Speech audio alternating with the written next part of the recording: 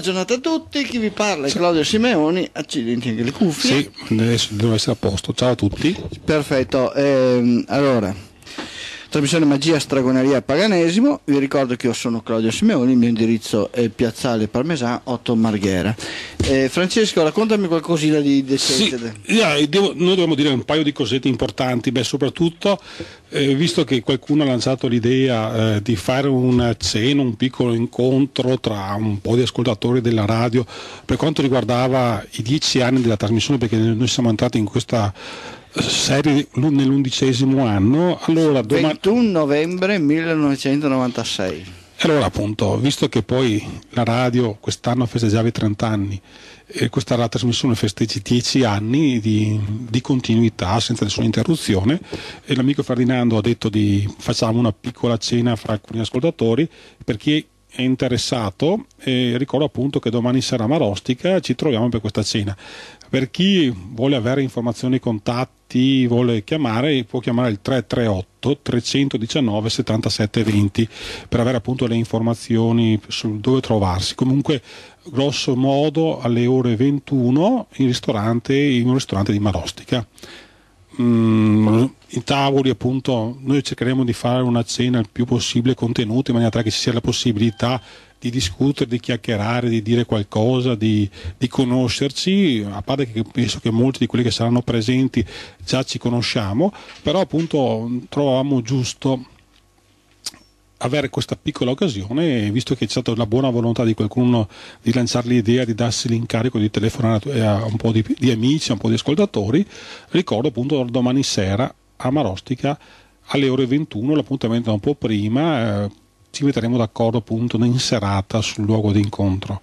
Questo appunto era una cosa che mh, ha a che fare un po' con noi ed è una cosa che non ha direttamente come tematiche per la trasmissione. Io ricordo sempre Radio Gamma 5, logicamente, perché deve essere il pensiero principale. In questo momento le cose si sono stabilizzate. Faccio gli auguri a Paolo, e probabilmente il mega impegno, il presidente parlo Paolo, il presidente della radio, il mega impegno, le energie che ha caricato, dato, l'ha messo in condizioni fuori combattimento, io gli faccio gli auguri di ritornare quanto prima in condizioni fisiche ottimali e lo ringrazio per tutte quante le cose che ha fatto. Ringrazio fra tutti i quotidiani che sono occupati di Radio Gamma 5 e anche il Mattino di Padova che ha fatto un'intera pagina dedicata a Radio Gamma 5 ha messo addirittura le foto ed è anche appunto un, un bel servizio soprattutto perché sono arrivate anche delle televisioni che hanno ricordato l'esistenza di questa radio, tenendo conto che sono 30 anni, ed è bello che le, i mezzi di informazione e di comunicazione locali ricordino questo spazio che, che è unico. Perciò auguri a Claudio dico auguri a Paolo. Grazie, auguri a te per i dieci anni. Esatto. Auguri a Paolo. Auguri a Paolo appunto che si, rista- si, ristabilisca. Sperando che lo faccia presto mm. e ricordatevi sempre che sta radio ha sempre delle mm. necessità. Francesco, eh, posso dire un'altra sì, cosa? Sì, sì, prima tanto che abbiamo, iniziamo la nostra abbiamo... trasmissione? Mm. Di pure. Allora, Niente, io vi ricordo sempre eh, l'uso che ne facciamo di internet, mm. perché eh, tutte le cose che diciamo qui per radio in realtà eh, vengono trasformate anche in pagine web e vengono caricate eh, su internet. Io ehm, stamattina mi sono stampato mm. quelli che sono eh, gli arrivi, eh, le visite, i visitatori, la qualità, le pagine che aprono in internet di quello che facciamo e vi assicuro che i dati che ho qui sotto mano sono dati che lasciano eh, abbastanza esterefatti, mm-hmm. cioè perché sono centinaia plurale di persone al giorno che vengono a leggersi le pagine internet. Cioè è una cosa che noi mm. mai pensavamo. Io vorrei ricordare che nel eh, 1999 Francesco sì. ha iniziato eh, veramente ci ha aiutato anche Marco mm. Dimitri quella volta a mettere in internet le prime mm. nostre cose con tanta fatica con tanto mm. era il 1999 e quello che caricavamo in internet era ciò che veniva trasmesso in questa sì. radio, per cui le due cose, le pagine in internet e la radio hanno sempre lavorato, diciamo così, in maniera ehm, eh, sin- sincronizzata, sì. diciamo così, no? in maniera... Beh, dobbiamo ringraziare anche Franco che si è dato un lavoro di, di trasferire su, da nastro a eh, CD tutte quante le trasmissioni audio. Sì, è arrivato già il 2002, per cui ci sono già quattro anni di trasmissione ormai quasi in internet. Eh? Sì, che ha fatto veramente un lavoro enorme. Diciamo che dobbiamo ringraziare, ringraziare, anche chi ha scelto quel servizio che ci dà la possibilità di ospitare in maniera illimitata eh, documenti audio. E comunque pensate che se uno vuole andarsi ad ascoltare le trasmissioni dal 2002 adesso tengo conto che Franco sta andando indietro più lungo del tempo, ma c'è una cosa più importante che Franco ha fatto un lavoro veramente gigantesco che è quello di fare gli indici e i sommari delle trasmissioni. Esatto, praticamente voi nella nella pagina archivio non vi leggete soltanto il link per scaricarvi la mm. trasmissione, ma vi leggete anche gli argomenti principali che sono all'interno di quella trasmissione, cioè quello che viene detto e che è una cosa veramente mostruosa. E te lo ripeto, ci sono dalle 20 alle 30 persone al giorno che vanno a scaricarsi i programmi, dai 20 alle 30 persone che ogni giorno, che vuol dire 600-700 persone al mese, che si scaricano i programmi. Mm eh, non mi sembra, mi sembra, un dato notevole tutto sommato. E oltretutto torno a ripetere centinaia di persone che arrivano a scaricarsi eh, pagine web pagine scritte. E cioè è una cosa veramente eh, mostruosa. Tant'è che negli ultimi dati che ho io insomma da metà febbraio sono circa vediamo un attimino sono circa eh, 85.000 pagine che si sono scaricati, mm. pari a circa 150.000 accessi. Cioè, cioè, solo sul sito Federazione Pagana. Mm. Noi che dicevamo se vengono due persone al giorno, mm. facciamo 14 persone a settimana, sarebbe stato un successo nel 1999.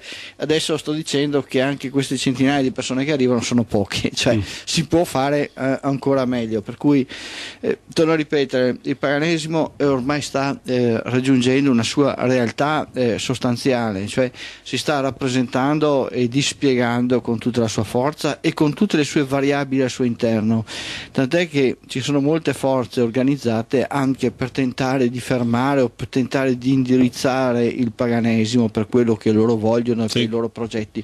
Cioè, c'è sempre qualcuno che deve dirti cosa devi sì. o non devi fare, eh, cosa tu devi fare per metterti al suo servizio, c'è sempre qualcuno che si fa Dio padrone o padrone delle altre persone ed è una condizione che troviamo abbastanza spesso, insomma.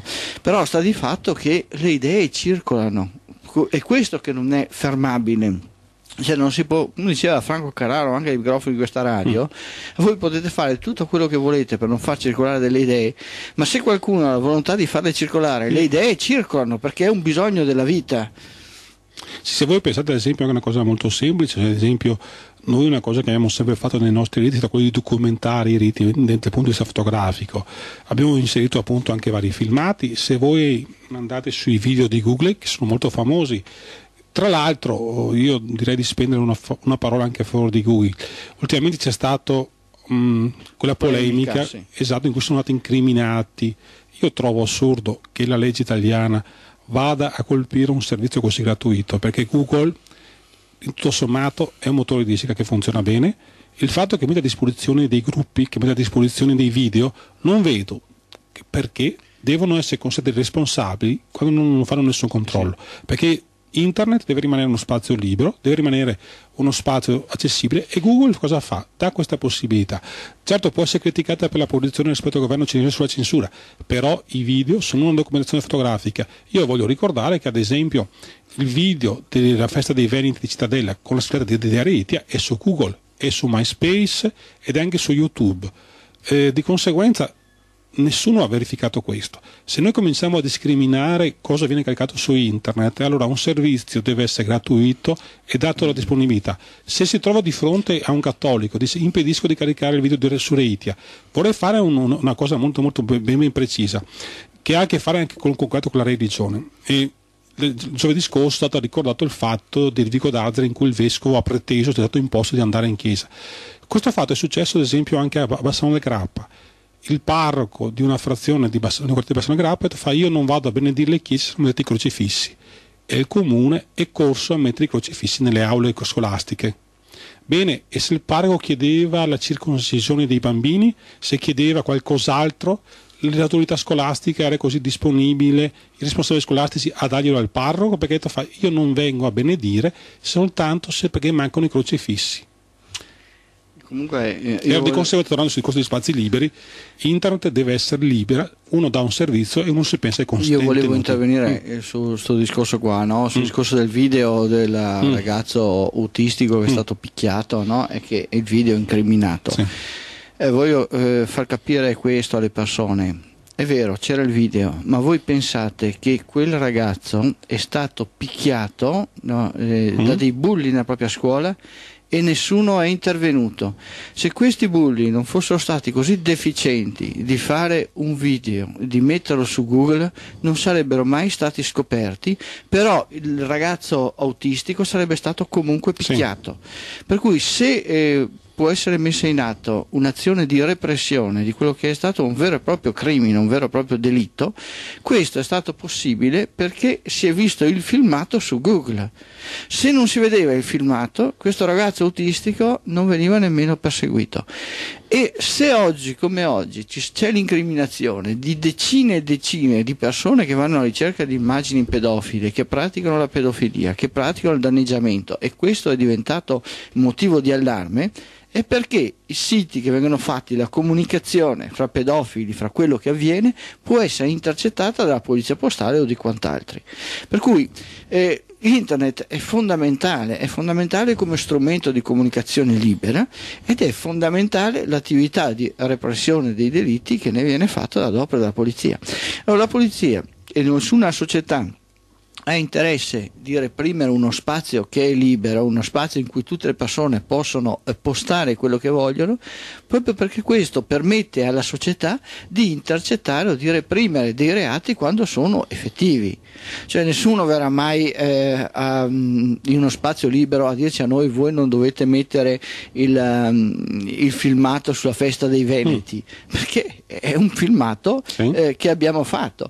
Ma, eh, e così se qualcuno mette dei filmati con dei reati avranno invece dei problemi, saranno invece repressi, ma se si fa una repressione a monte dicendo solo i cattolici mettono i filmati, solo se i filmati c'è la Madonna li metti mm. su, sta di fatto che da un lato si, non si possono più scoprire i delitti fatti da alcune persone che vogliono milantarli e dall'altro, dall'altro lato invece si crea una situazione conflittuale nella società civile dove alcune persone che hanno delle esigenze di rispettare quello che è il dettato costituzionale, delle persone che hanno esigenze di manifestare dei diritti e delle tensioni vengono represse a prioristicamente costruendo un'altra situazione di eh, difficoltà nella società civile.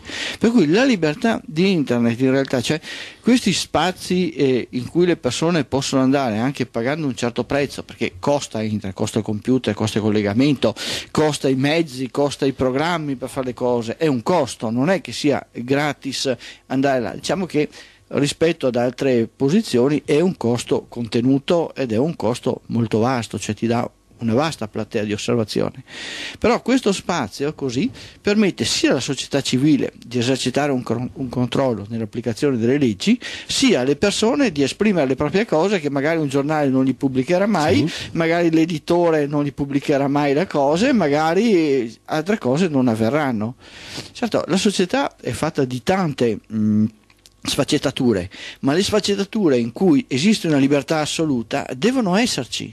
Guai se non ci fossero, perché significa altrimenti costruire una società di galera, cioè una società di un campo di concentramento, dove le persone sono obbligate a dei comportamenti fissi e questo non è più accettabile in una società civile, assolutamente. Sì, infatti eh, cioè, noi diciamo sempre che bisogna essere sempre consci delle conseguenze delle proprie azioni.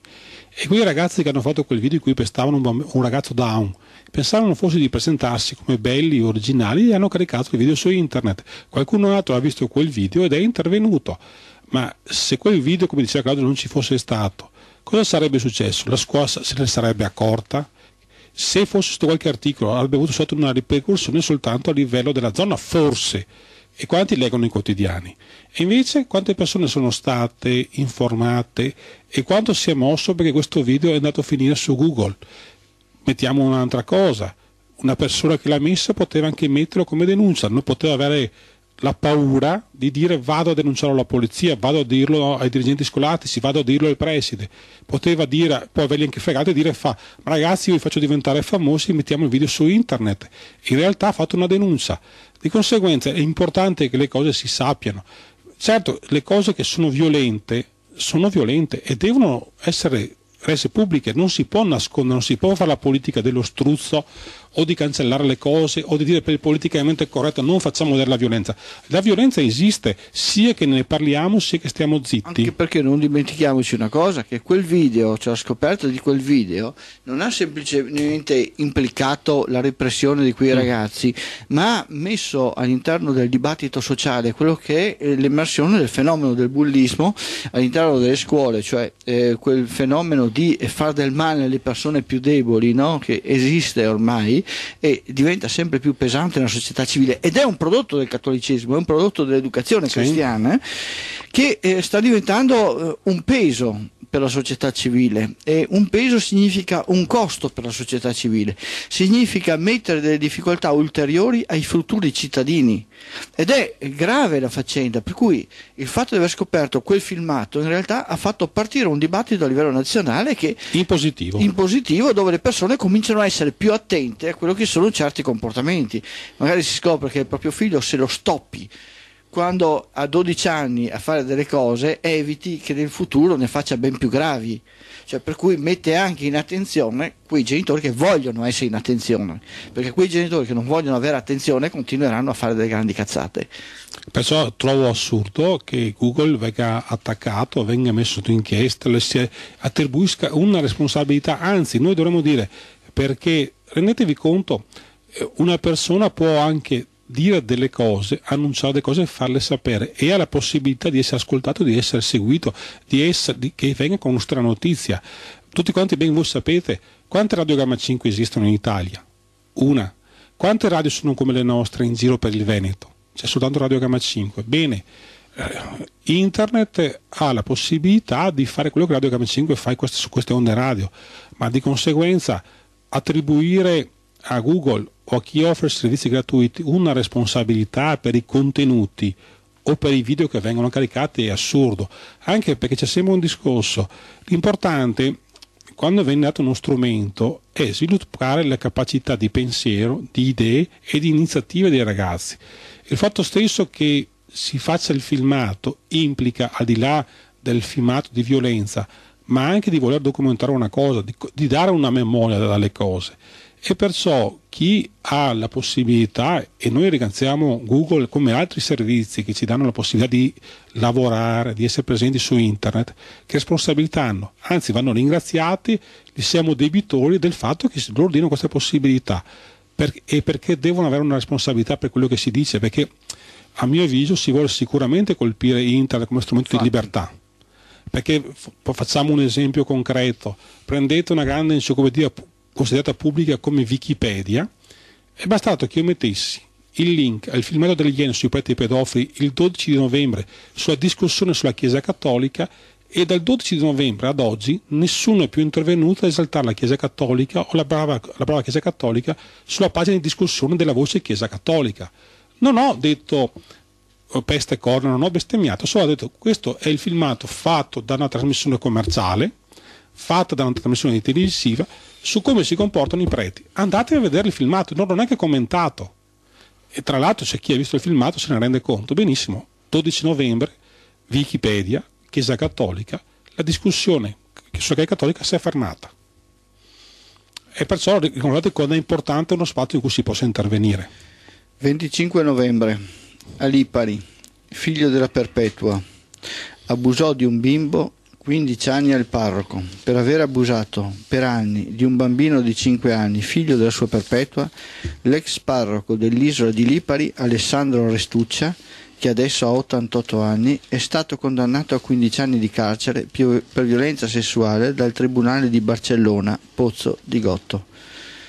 25 novembre 2006. Questa notizia la trovate sulla Repubblica del 25 novembre, la trovate sul Gazzettino del 25 novembre 2006 e vi ricordo che dal 21 novembre del 1996 che noi vi stiamo dicendo stiate attenti a quello che è il futuro dei vostri figli perché? Perché le persone devono attrezzarsi Vai Francesco. Sì, ecco, io voglio tornare, tra l'altro sinceramente sembra che siano passati dei secoli da giovedì scorso, in realtà è passata solo una settimana, ma eventi, situazioni, impegni sembrano che il tempo sia incredibile. Io voglio ricordare, anche se abbiamo delle visioni contrastanti su questo film, io parlo del labirinto del fauno. Io appunto ho avuto occasione di andarlo a vedere venerdì scorso e l'ho trovato veramente un film ben realizzato. Io invito gli ascoltatori che hanno la possibilità, la voglia di andarselo a vedere. Il film per me ha anche parecchie eh, chiavi di lettura dal punto di vista anche mitologico ed è anche un bel film ben realizzato. Si possono fare delle letture incontrastanti tra il comportamento corretto e bello della protagonista Ofelia, che è la bambina, e certe implicazioni bibliche di certi tipo Abramo e Isacco. Perciò, visto che il film è uscito appunto giovedì scorso, bene, se qualcuno ha la possibilità, ancora la voglia e il desiderio, se trova il film in giro, se lo vada a vedere. Il labirinto del fauno merita di essere visto. Se poi qualcuno ha voglia anche di commentarlo, benissimo, perché io reputo che il film sia importante, proprio perché dà una chiave di lettura dei comportamenti, dà la possibilità di comprendere che anche una situazione così grave ed è il lato che ha sconvolto Claudio, quello della violenza, perché praticamente questo film... No allora, eh, chiariamo una cosa, non è mm. che Claudio si sconvolga dalla violenza, eh, diciamo così, Claudio eh, ha una sensibilità molto particolare mm. rispetto a persone legate e torturate, cioè io non lo sopporto mm. e non lo sopporto perché? perché l'ho ricevuta quella violenza oltretutto, per cui è una cosa che è rimasta dentro ed è una cosa che è assolutamente intollerabile, per cui per me quando un film ha questo tipo di eh, visioni no? che eh, sono assolutamente logiche all'interno del film, mm. cioè eh, sicuramente il film eh, dà esattamente la visione di un modo di essere, un modo sì. Di comportarsi che in certi aspetti è finito in certo mm, tempo, però non è finito, cioè nel senso che situazioni analoghe esistono ancora, però diciamo così, eh, fa parte un po' di quella che è eh, il bisogno della Spagna di eh, rivisitare un po' il proprio passato e naturalmente quando c'è la necessità di rivisitare eh, cose atroci del proprio passato eh, si ricorre molto a categorie pagane, cioè eh, si ricorre molto a quel bisogno, a quella necessità di libertà dell'uomo, del singolo, del soggetto che è propria eh, de- del paganesimo ed è antitetica al cristianesimo.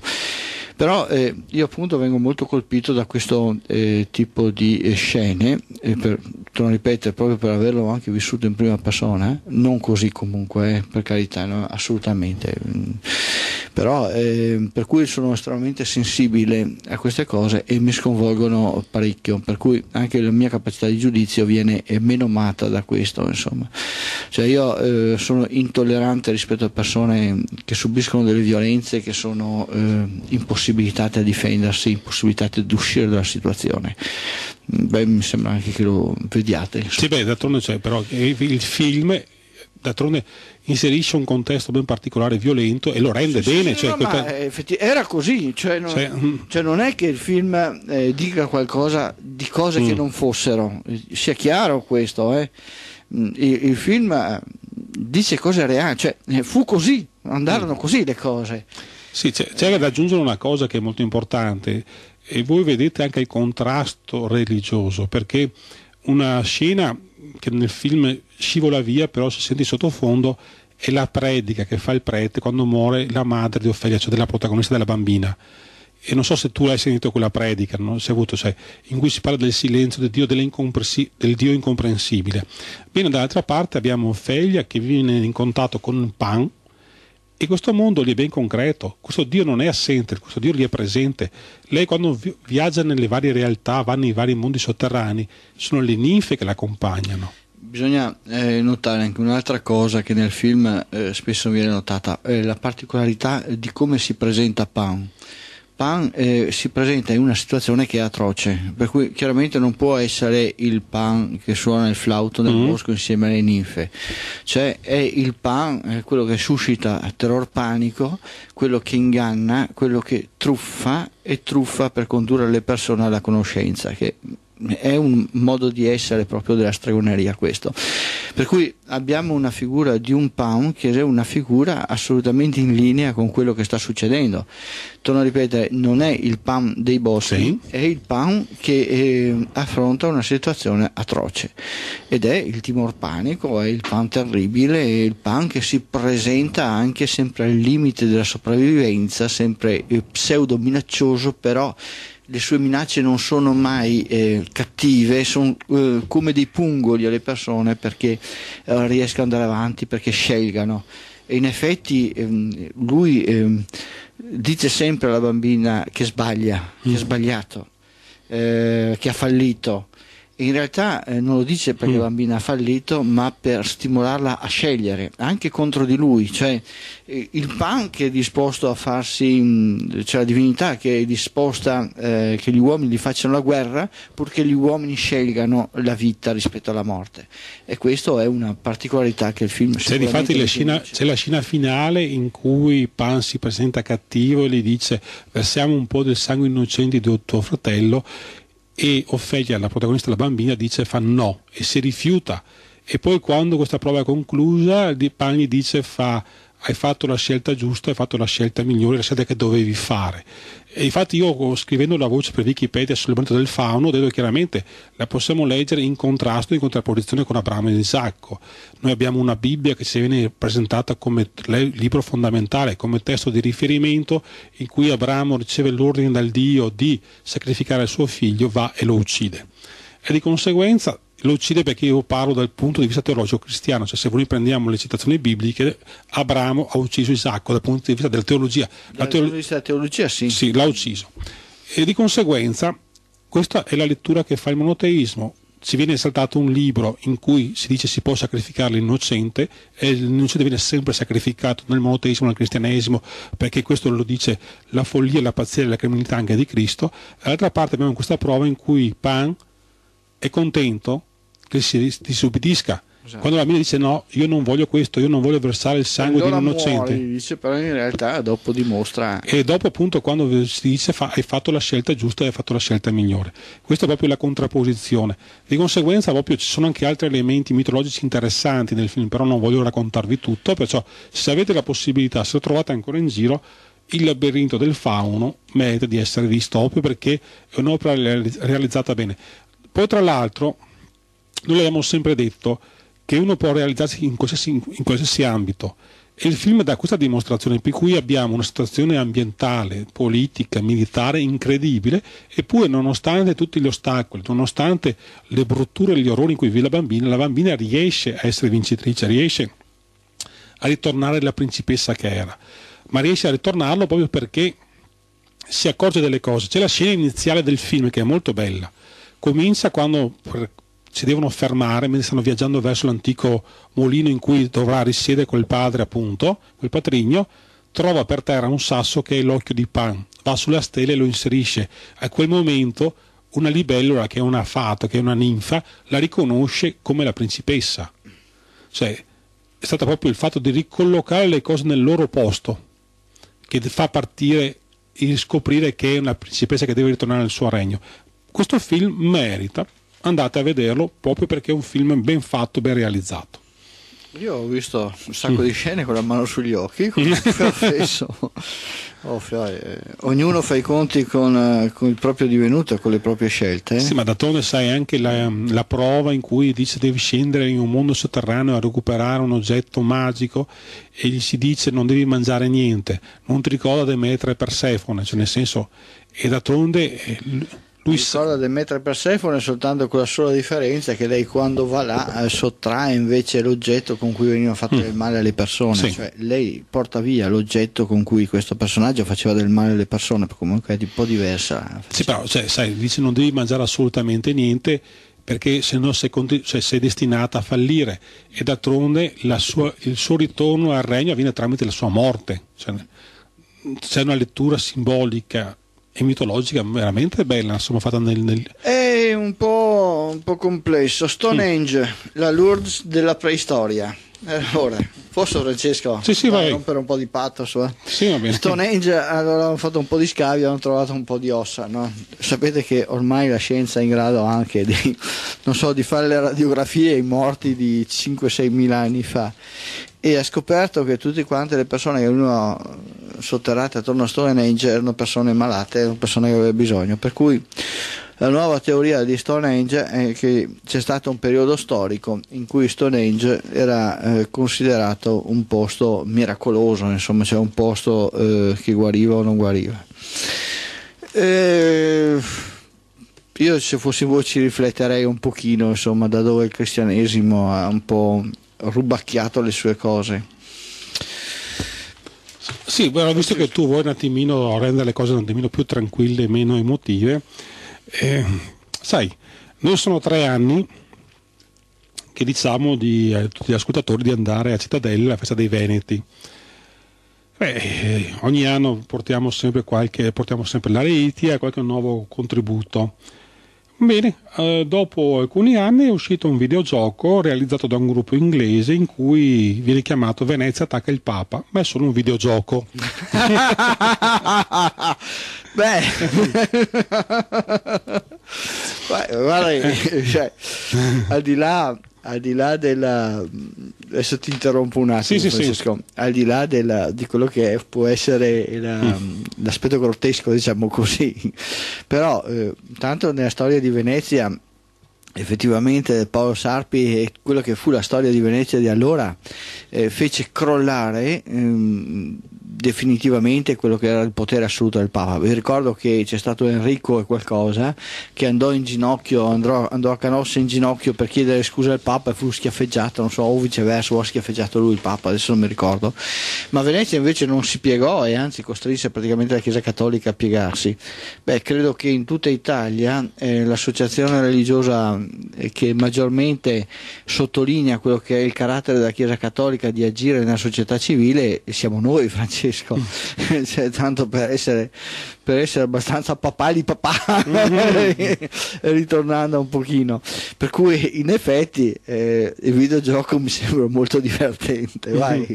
Sì, allora appunto questo, questo videogioco creato in Inghilterra si chiama Medial, eh, Medieval 2 Total War e eh, viene recensito, dice fa, i diplomatici possono negoziare alleanze, le principesse sposare re stranieri per assicurare la fedeltà i preti portare la parola di Dio tra gli infedeli, è proprio la religione il punto focale del gioco.